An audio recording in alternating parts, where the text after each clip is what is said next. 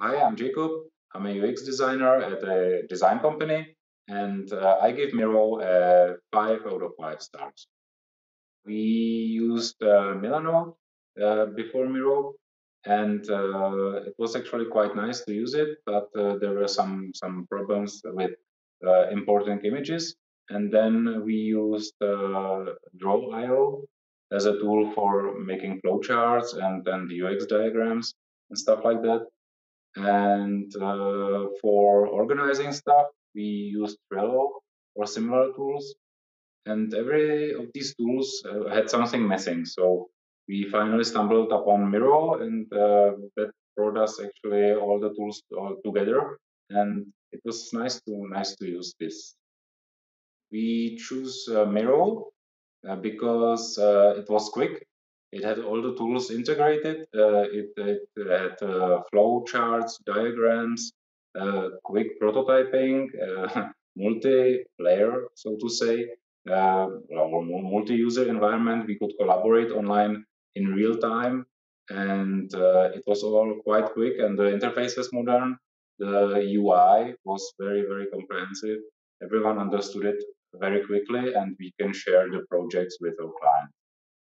Oh, the first time I, I launched Miro, uh, there was this uh, screen telling me what's new, and the, this screen pops up actually quite quite a few times and quite often.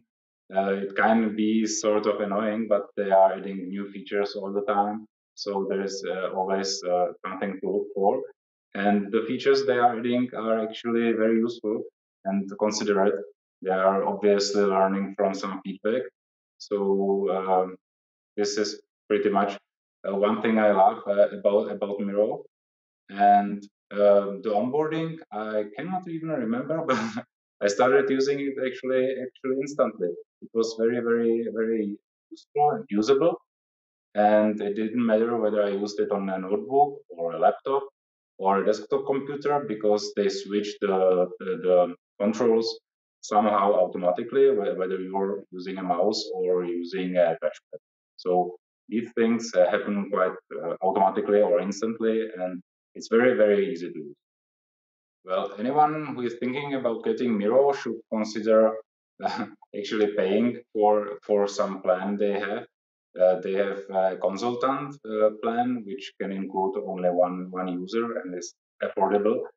And uh, this, this gives actually the user the, the opportunity to share uh, the boards and create unlimited boards and share the, them with the clients or with coworkers.